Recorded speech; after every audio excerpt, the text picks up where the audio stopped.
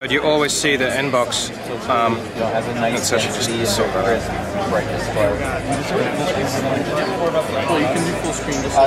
So in landscape mode, you always see the inbox on the left-hand side. And if you want to create a new mail, obviously you get a full-size keyboard.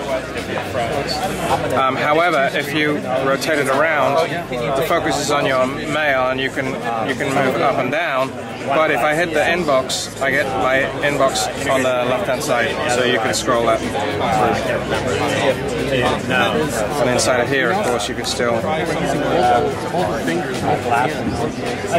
Uh,